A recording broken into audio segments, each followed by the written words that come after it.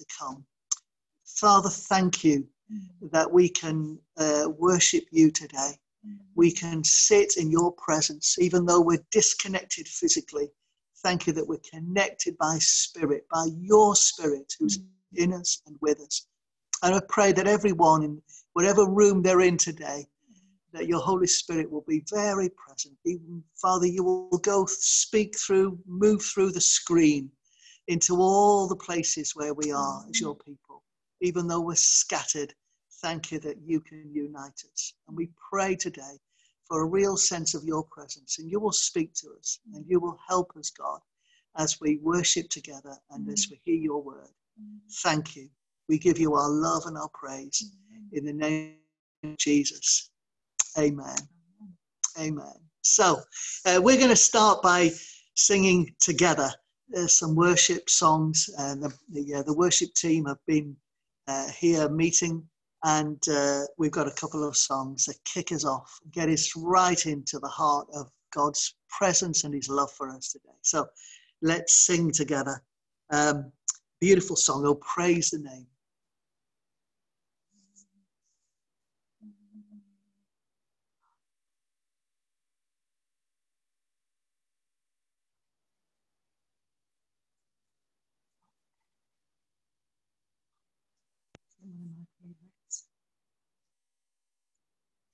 No, oh, yes, there it is. There we go. It's coming.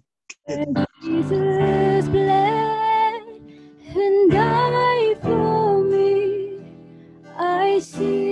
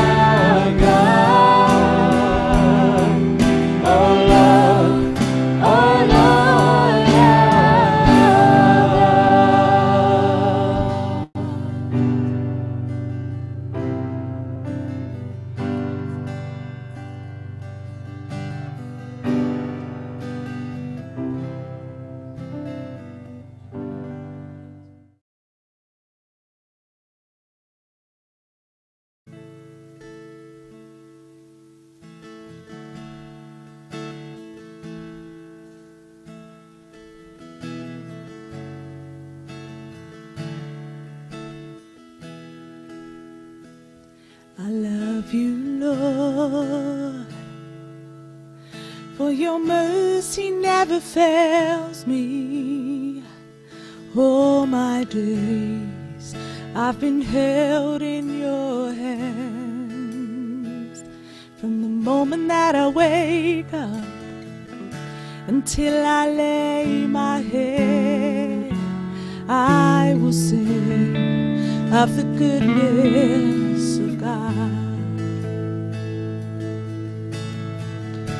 Cause all my life you have been faithful. All my life you have been so, so good. And every breath that I am able, I will sing of the goodness of God. I love your voice. For you have led me through the fire and in darkest nights you were close like no other. I've known you as a father and I've known you as a friend and I have lived in the goodness of God. Ooh, yeah. All my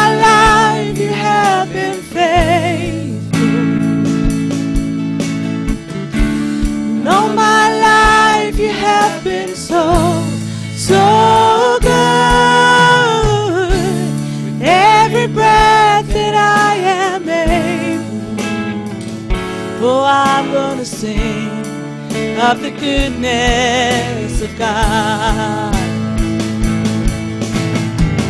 Your goodness is running after, it's running after me. Your goodness is running after, it's running after me. With my life laid down, I surrender now. I give you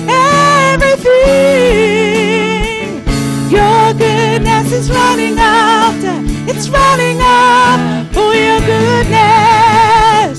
Your goodness is running after, it's running after me, yes, Lord.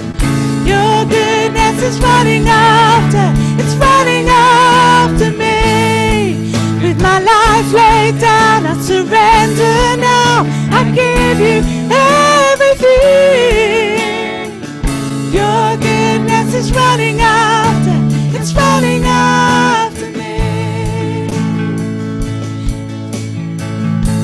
'Cause all my life you have been faithful, yes, Lord.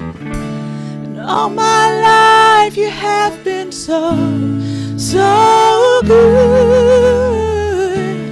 And every breath that I am able, oh, I will sing of the goodness of God. Ooh, yes, I will sing of your goodness. Your goodness is running after, it's running after me. Your goodness is running after, it's running after me. Let's sing that again, your goodness. Your goodness is running after, it's running after me. Oh, it's chasing me down. Your goodness is running after, it's running after. Sing it again, your goodness. Your goodness is running after, it's running after me. Your goodness is running after, it's running after me with my life, my life laid down. I surrender now, I give you everything. Your goodness is running out. it's running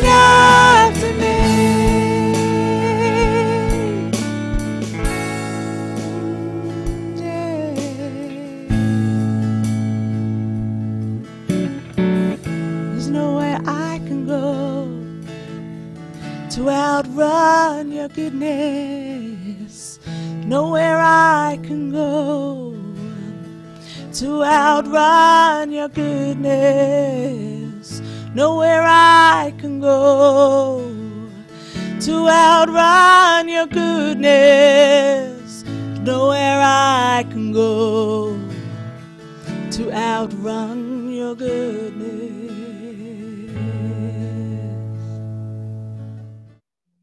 So good, isn't it? So good to know. No matter where you go, whatever you're going through, uh, the goodness of God can meet you and transform everything around us. Um, we, we're in a series at the moment uh, on prayer, and uh, last week we listened to Pete Greig talking about unanswered prayer. And uh, you know, one of the uh, one of the most challenging things in, in, in life and the Christian faith is the, the issue of unanswered prayer. When we cry out to God and we're desperate for Him to intervene, help us in some way, um, and, and the answer doesn't seem to come. And that's always been a, challenge to us. Uh, and uh, we're going to break bread together today because even though many prayers that we've prayed maybe for a long time have been unanswered, and when sometimes we go through periods of life when heaven seems to be silent, when God seems to be absent, uh, then we know, we believe, we stand today on the, the truth that God is for us and He's with us and He loves us today. And His goodness is flowing towards us. Uh, so as we prepare for uh, bread and wine today, just to share communion together, I thought we'd just do a little reflection uh, on a famous story, maybe one that we don't often think about, but it's the story of Easter, and in particular, the story of a man called Joseph. And this is the scripture. It's taken from John chapter 19, and it says this Later, Joseph of Arimathea asked Pilate for the body of Jesus. Now, Joseph was a disciple of Jesus, but secretly for fear of the Jews. With Pilate's permission, he came and took the body away. He was accompanied by Nicodemus, the man who earlier had visited Jesus at night. Nicodemus brought a mixture of myrrh and aloes, about 75 pounds. Taking Jesus' body, the two of them wrapped it with the spices in strips of linen. This was in accordance with Jewish burial customs. At the place where Jesus was crucified, there was a garden, and in the garden, a new tomb in which no one had ever been laid. Because it was the Jewish day of preparation, and since the tomb was nearby, they laid Jesus there. This is the day uh, in between, the day of silence, the day when it seemed like for those followers of Jesus, their world had come crashing down. Joseph voluntarily asked Jesus, asked for Jesus' body. It wasn't forced upon him. He didn't draw the short straw. He experienced this burden due to his own volition and choice.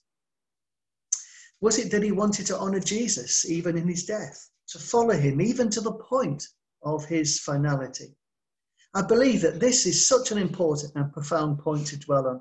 When we sign up to a life of following Jesus, we have to accept that we will experience the glory of the resurrection as well as the burden of the crucifixion.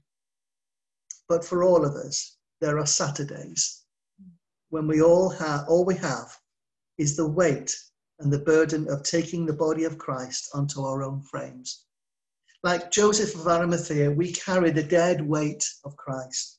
In his case, it was literal, but in our case, we carry the weight within our very beings. We perhaps bear the silence of God at times of stress in our lives and relationships. We long to hear God's voice and see his light, but his absence feels like a lifeless weight bearing down on our souls in the shadows. Joseph of Arimathea carried the corpse of Christ and bore the, the accompanying silence, even though he did not know that Resurrection Sunday was around the corner. We carry Christ in our hearts, and sometimes the weight of this burden is so substantial that we are left forlorn, downcast, even hopeless. This is the in between Saturday part of our faith. We acknowledge that faith isn't just Good Friday and Easter Sunday, uh, it's the silence of Saturday too. So much is sitting in that tomb with the soon to be resurrected Lord. It's so dark, so cold, so scary. The silence is deafening. But there is hope in there. Emmanuel, God with us, in, is as much true in the darkness of the tomb as it is when the sun rises and the stone is rolled away. Jesus entered the, his tomb alone and forlorn, but he didn't stay there. Jesus welcomes us into the hope that Sunday is coming, that he is coming, and that changes everything. Can I encourage you today? Perhaps life feels messy. Uh, there are many unanswered questions, unanswered prayers. I encourage you to join Joseph of Arimathea as enters a messy bit of Jesus' story. Perhaps nothing has turned out as you hoped. It was the same for Joseph. Perhaps you can't see how it all ends. It was the same for Joseph. As you sit with him, forlorn by the tomb, ask God for patience and peace in the waiting and the fearing and the not knowing. Let's pray together. Lord, on my silent Saturdays, today or whenever they come, I choose not to waver or move. I choose to stay with Joseph and Nicodemus, that you are still my Lord and I trust that after every Saturday comes Sunday. After the crucifixion is resurrection, and after death is life. Come, Lord Jesus. Amen. We're going to celebrate together and break bread because um, that's what we do. And uh, we got here with us today, obviously, a little simple loaf and uh, and some some juice, maybe some wine if you've got some at home. And uh, we thought today, Joy, would break bread together, and uh, we're going to do that uh, with you today.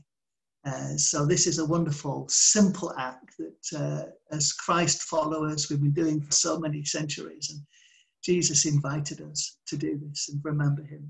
We have a simple loaf, an everyday loaf used around the world to remind us that Jesus came in a body into our world and his body was broken and uh, it was battered and bruised and he was tortured and he gave his life for us. We give thanks, Joy, for, mm. for this bread. Yes, Jesus, you called yourself the bread of life. And it is your body, and blood. Your salvation that sustains us. You gave your life for us in place of us. And we thank you from the bottom of our hearts for your love that didn't let go and never lets go now.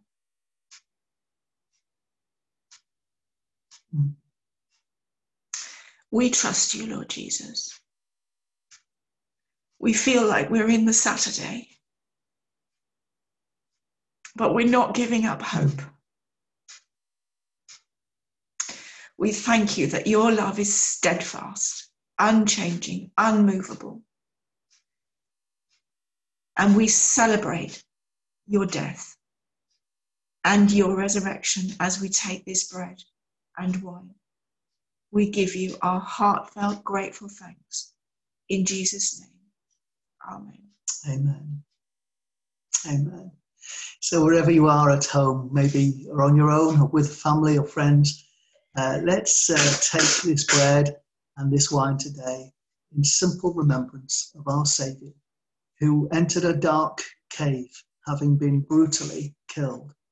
And uh, it seemed forlorn and, and lost, but actually, as we know, the story changes dramatically. And He is with us today. The risen Lord Jesus is present. And we are so thankful, aren't we, as we, remember him. And as we take bread together today, uh, we do so in remembrance of thankfulness.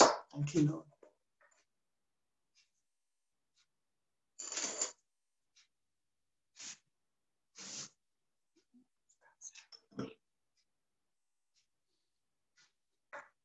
Mm. Thank you, Lord.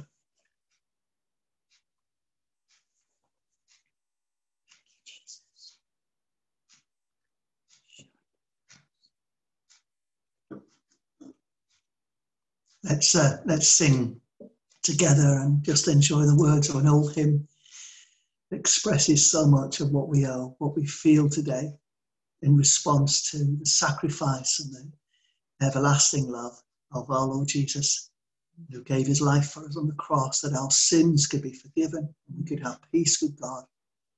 And if you're listening on this call today and you don't know your sins are forgiven, you don't have peace, Jesus is just a call away.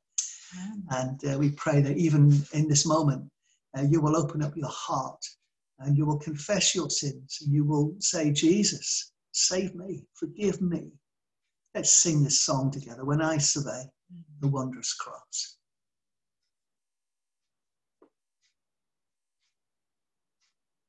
Mm.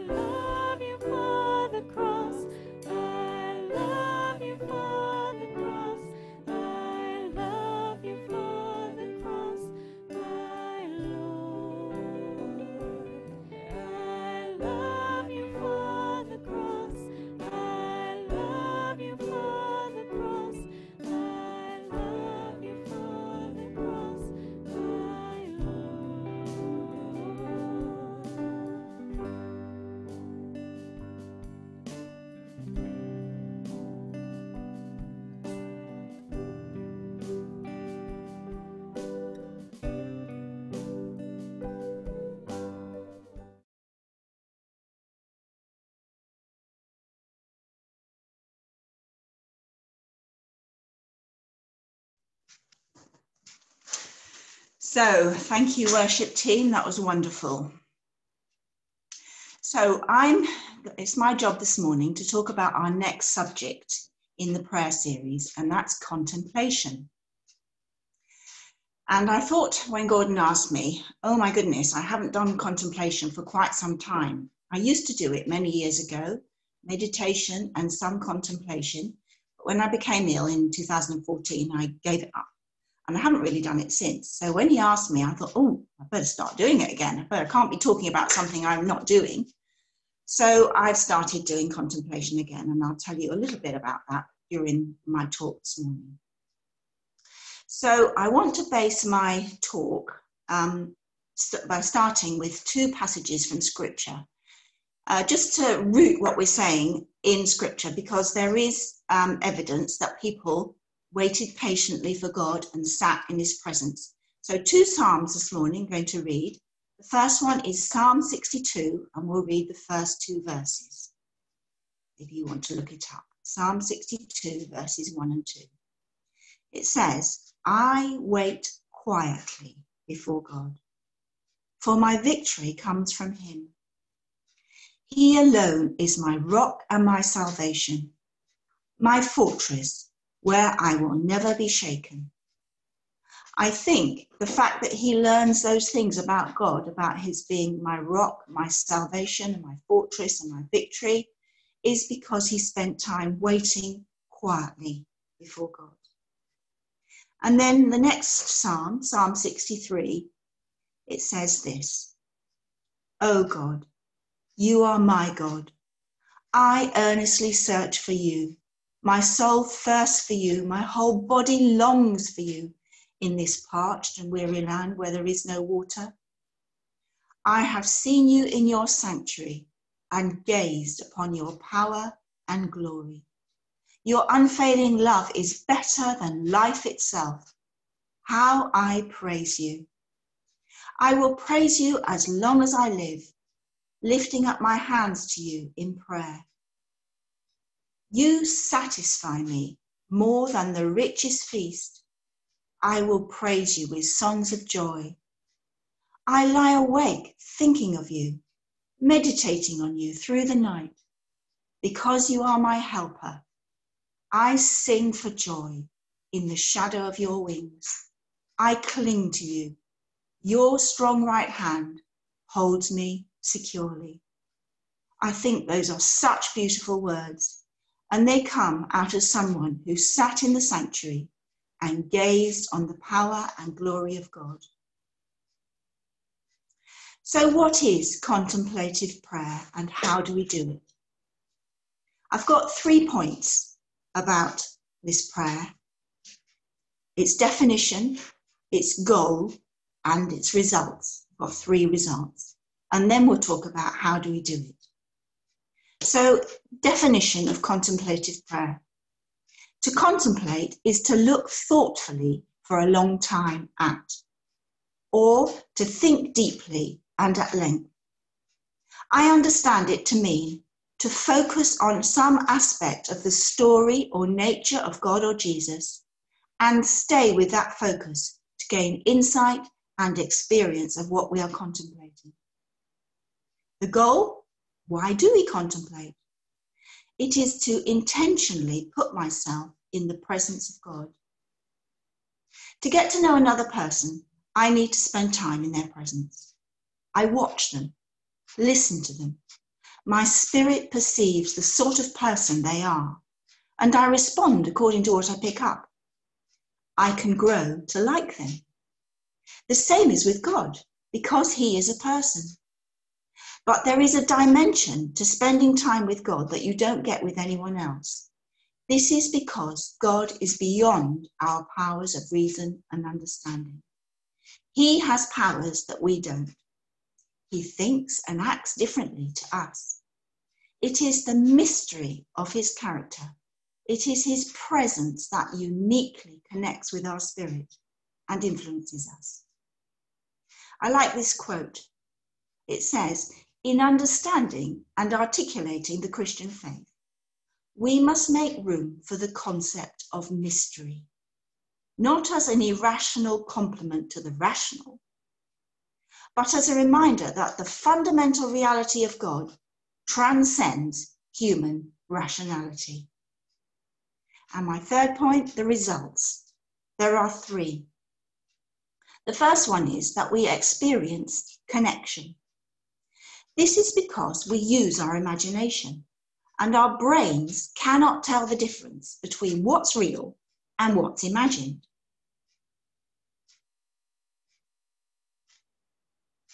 Imagine going to the cinema. You know that what's on the screen isn't real, but think about how it affects you. You might become angry or sad or upset or happy.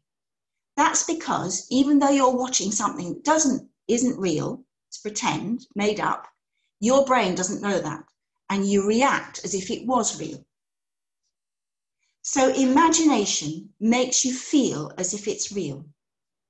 So, based on what you're reading or seeing, you imagine things about God. Your brain thinks it's really happening and you feel connected. Good, isn't it?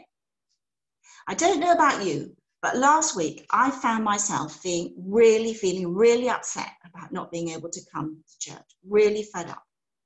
I miss being connected. I miss the joy of being with people. Every week during the service, I cry. It lets the pain out. But I want to ask Does being with each other normally, when we're normally together, actually mask the fact that we're not connected to God in the vital way that contemplation gives us?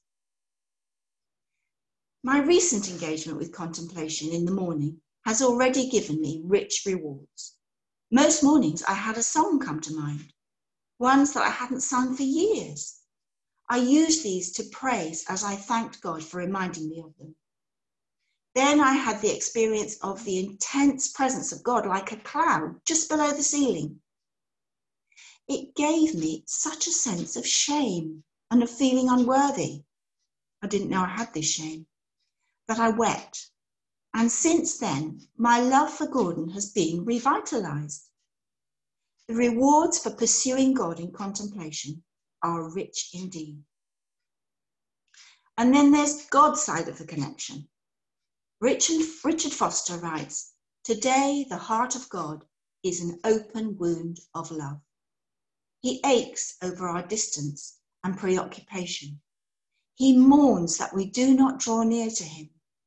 He grieves that we have forgotten him. He weeps over our, our obsession with muchness and manyness. He longs for our presence. My second point of the result is that it gives us joy and satisfaction. This connection fulfills us at our deepest need, our deepest desire. Remember in Psalm 63, verse 5, it says, You satisfy me more than the richest feast. I will praise you with songs of joy. Jesus wants us to have joy.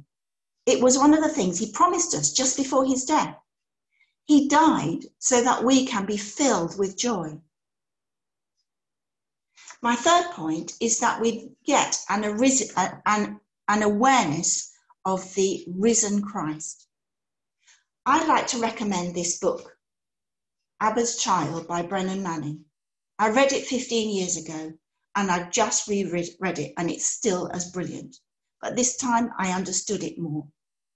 I'd like to read just a couple of passages from it. I'd like to read this whole chapter called Present Risenness. It's brilliant, but I'll read you two excerpts. Standing on a London street corner, G.K. Chesterton was approached by a newspaper reporter. Sir, I understand that you recently became a Christian. May I ask you one question? Certainly, replied Chester, Chesterton.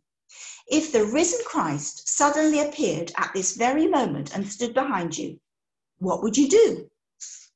Chesterton looked at the reporter squarely in the eye and said, He is. And then a little bit further on in the chapter, a short story.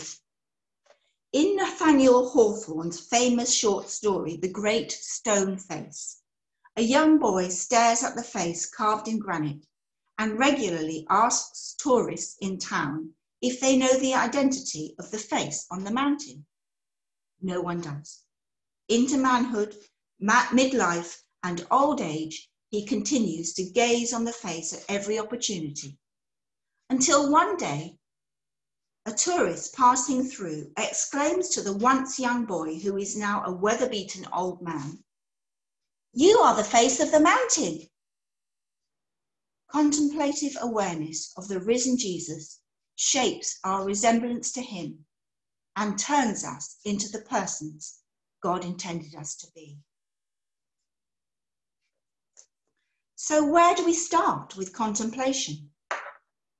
Well, if you listen to Pete Greig's talk on this subject, and I really encourage you to do so, he talks about three stages of contemplation, beginning with meditation, moving to contemplation, and then to communion. So, what is meditation? Meditation calms your mind, contemplation renews it. The Bible tells us that we are one with God. He is in us and we in him. It couldn't be a closer union. I heard someone say that we should take our connection with God for granted in a good way. It's always there, His presence. The only way we get out of, uh, get out of feeling it is by disobedience. So, meditation is also called centering, and we concentrate on the Christ within us, His Spirit, the one that lives in our belly. And we begin to focus our mind by breathing a breath prayer. The words match our breath. So you could say, Abba Father, as you inhale, and I belong to you as you exhale. You repeat, repeat this phrase as you breathe. You are trying to center down and concentrate only on your phrase. I have found and still find this incredibly hard to do, though practice has made it easier, and God is very kind and present. I find my mind starts going off in one direction or another. The trick is to keep bringing back it back to your breathing and your repeating. It teaches you patience and perseverance. Both of those are good virtues.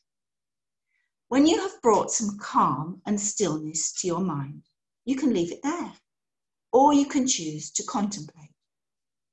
Traditionally, there is examen. These are traditional ways of contemplating.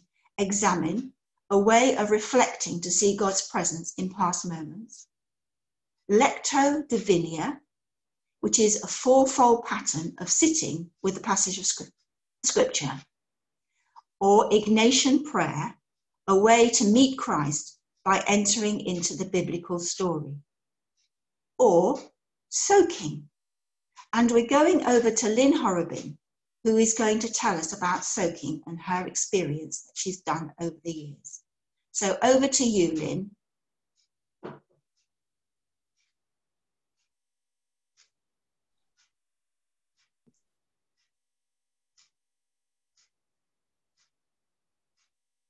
Hopefully we'll be going over to see Lynn and hear what she has to say.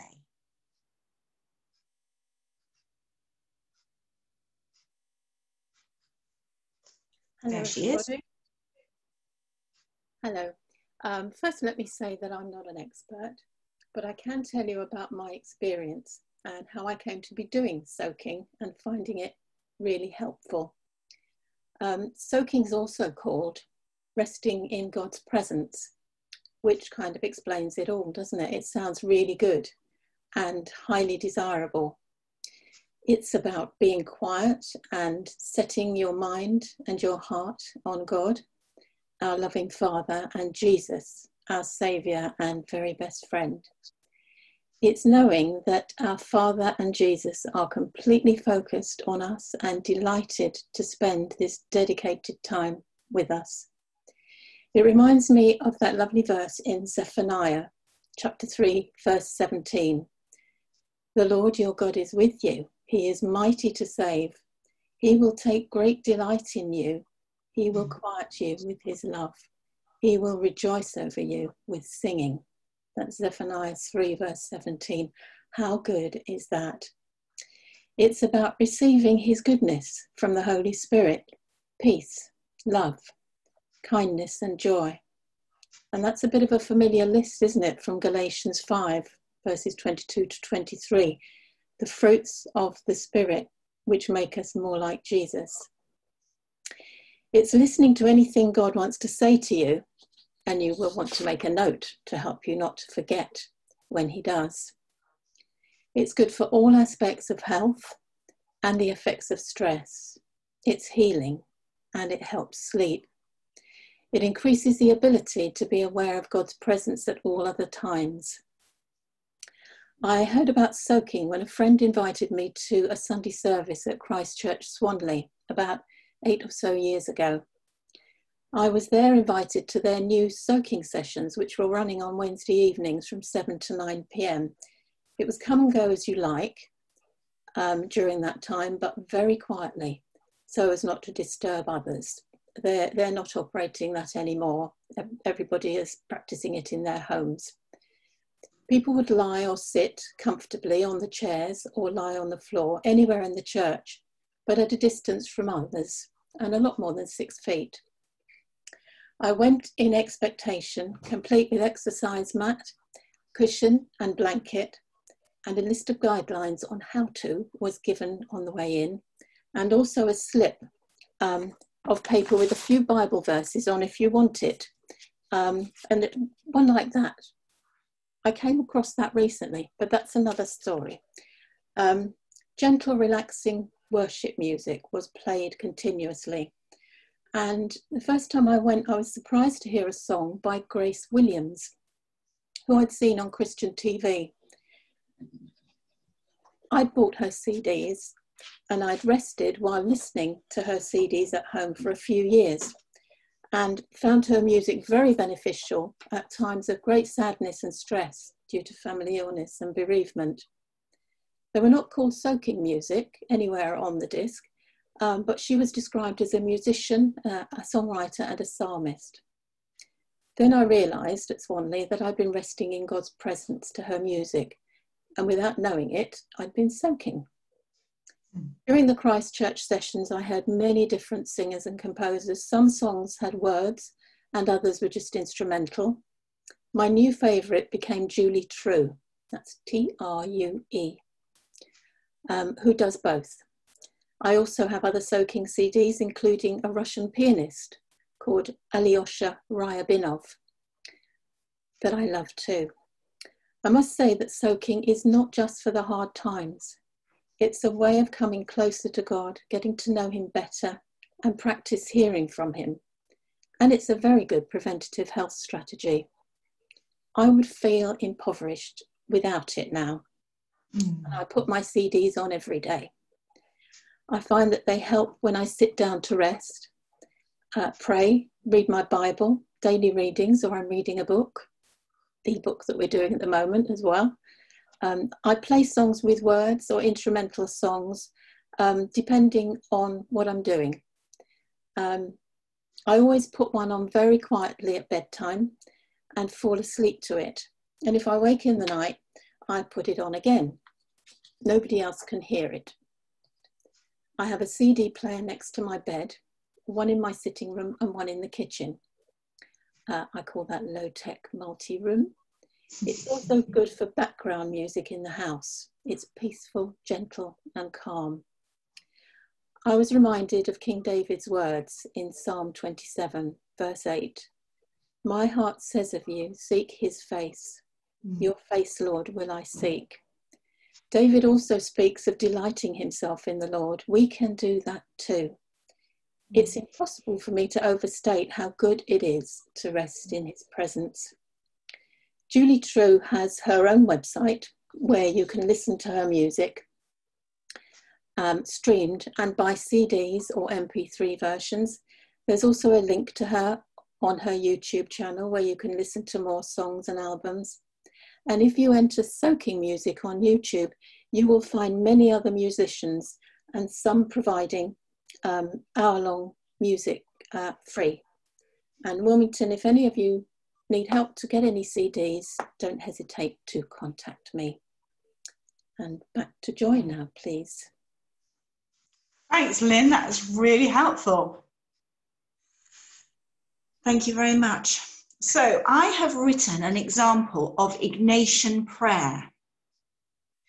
It's um, a meditation on um, the feeding of the 5,000. And I, I feel the Lord has given it to me. I asked him, What shall I talk about? And this is what came to mind. So, you might find it helpful to actually close your eyes while I read this imaginative story to you. Uh, so the idea is to concentrate and use your imagination. Here we go. So Bartholomew, Bartholomew and I had had the most amazing two weeks. Talk about power, man. Two men with leprosy, several who had epileptic fits, a child with a cleft palate, don't know how many blind people, several cri- cripples. Honestly, we lost count. And then there were the demons. We shut them up, we did. We did it, Jesus. Wait till we tell him. Can't wait, in fact. It'll be so good to get back. And the trip was fantastic, but it's worn us out, to be honest. We finally caught up with Jesus and the others in the middle of town. But it was obvious that he wasn't himself and he wanted to get away somewhere quiet. He was also aware that we needed a break too, even though we were bursting to tell him the awesome stuff we'd been doing. On our journey to somewhere quiet over the lake, Jesus informed us that he'd had a visit from some of, some of John's disciples who brought terrible news. John had died in prison. In fact, he'd been beheaded by. How could this have happened to such a man as John? Jesus was visibly upset, and we realized he needed time to get away and process this awful tragedy. The wind was with us, and it took us a couple of hours to get across the lake. It was good to be away from the crowds, and we were anticipating a day of relaxation with lots of banter as we recounted our stories of the last two weeks. As we approached the shore near Bethsaida, to our horror, we saw that crowds of people had already got there before us. In fact, many were still running to be there when we arrived. Groan. Oh no, just when we thought we were going to get some peace and quiet. We suggested that it might be a good idea to go somewhere else. But Jesus, getting out of the boat, saw this huge crowd and couldn't help himself. He was always so full of compassion that he couldn't leave the situation like this. So we all piled out, and Jesus spent the rest of the day teaching this crowd many things about the kingdom of God.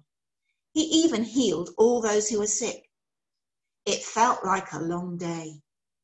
So, late in the afternoon, we disciples started exchanging glances and motioning to each other that we were more than a bit peckish. We got together for a confab and decided that we really had enough of all this and we were going to ask Jesus to send everyone away. After all, we were in the middle of nowhere, we were hungry, and these people had to go away and find dinner themselves and maybe somewhere to stay the night as well. So the 12 of us mooted our idea to Jesus. Well, it did feel like we ganged up on him a bit, but we were desperate to bring this whole shebang to an end. Don't you think it's time to stop, Lord? I'm really, I mean, really, it's getting late. And that is when the tables were turned. Jesus never did what was expected and simply said, Will you feed them then? What? At first, we thought he was joking. What, us? Feed all these people? Then we realized that he wasn't actually joking, and we hastily began to calculate how much money we'd need to feed these hordes. It was hard to work out, but it would be at least 200 days' wages. How were we going to find that? This was ridiculous, and Jesus was being completely unreasonable. He even led us along by putting Philip on the spot. Philip, he said, where can we buy bread to feed all these people? What were we to do? The crowds were getting restless and we were getting increasingly stressed. We felt under pressure. Then an idea. Maybe people have actually brought food with them. Ah, yes, good thought. So we dispersed in every direction in the vague hope of finding food among the crowds. It was a bit of a long shot, but at least it would be something. After a good while of searching, None of us came back with anything, except that is for Andrew. He had found a small packed lunch, enough for one boy. That was it. But that wasn't going to go very far. Honestly, we felt bewildered, totally out of our depth. That was when Jesus finally gave us something to do. Get everyone to sit down, he said. Well, there were 12 of us and roughly 20,000 people, so this was no mean task. At least control had gone back to, to our leader Jesus, and we now just had to do what he said. We were tired, hungry, and definitely out of sorts, but the area was sloping and grassy, and word soon got round. Sit in groups of 50 until every, eventually everyone was settled. Now what? And this is something I shall never forget till the day I die. We were the only ones left standing, Jesus and us, 13 of us. Jesus took the five loaves and the two fish, said a prayer of thanks and blessing over them, and began to break them up and give them to us. It was startling, jaw dropping. I kept trying to see what was actually happening. He just kept breaking and breaking and breaking dividing and dividing. Pass it round, he said. Give it out. Come on, there's more here. James, take this lot over there. Peter, you serve the groups up at the top. Look, here it is. There's plenty here. Some more for you, Judas. And so it went on. Backwards and forwards we went. We were the A team, giving out free dinner to 27, 20,000 people. This was the stuff of dreams. This rabbi of ours was totally, absolutely awesome. I had no idea it was going to be as good as this. This was wonderful, and we were in on it. People kept sticking up their hands for more, over here, over there. There was no shortage at this fe- feast. Everyone was stuffed, and us, well, we'd done the running around, but you know, the weariness had gone. We were really pumped by this, all of us. Jesus showed us that day that though he looked just like one of the rest of us, and the hands that he used to break the bread were just like ours, he was actually the provider. He has set us up, put us in an impossible situation where we couldn't see beyond our own thinking. He revealed himself to us, making something astounding out of what we'd found and given to him. I think he actually loves this, these situations that are beyond us you see, He is the provider. That is what He does. You know, doing this has renewed my mind. I've thought of things I've never thought of before, and my heart is full of joy, and I've only just begun. I bet that you will remember this story far more than anything else I've said. That's because imagination equals connection. I hope you felt connected to Jesus because that is what he wants. Can I encourage you to try it? You'll be richly rewarded. That I can promise you.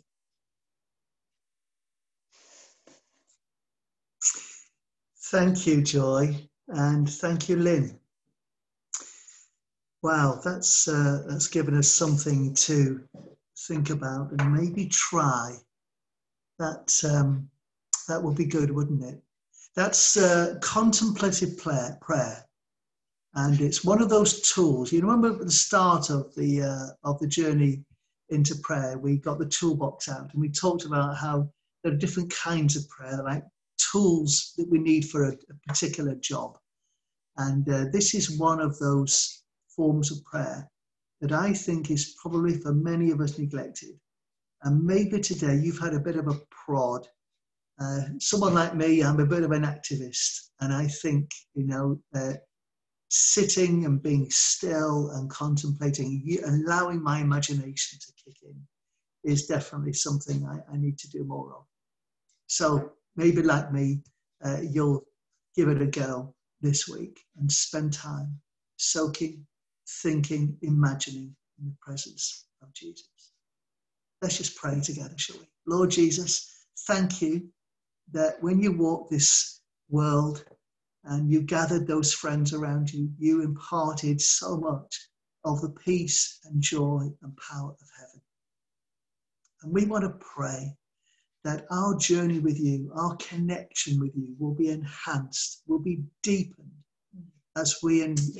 engage ourselves in the practice of this Mm. kind of prayer, where we sit without agenda and just be in your presence and allow our imagination to go into your word, into your story, so that we engage with who you are.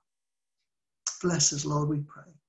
We thank you for your goodness and grace to us, and we ask your blessing on us. In Jesus' name, amen. Well, it's so good to be in this journey and uh, and thinking about all these aspects of prayer. And uh, we're going to wrap up uh, right now, and uh, we're just going to sing one more song to go out today. Uh, if you're joining us and you're on Zoom, uh, we'd love to see you after the service. Do connect in again on our normal Zoom uh, meeting place, 974-120-1444. And uh, after about 10 minutes, about 10 past, we'll, we'll clock in again and hopefully meet other people on there uh, in the room so that we can see each other and chat and share our news. So uh, let's do that. Let's just sing this song together and spend a little moment in the presence of Jesus. I love you, Lord. And uh, we're just going to respond to him as we sing together.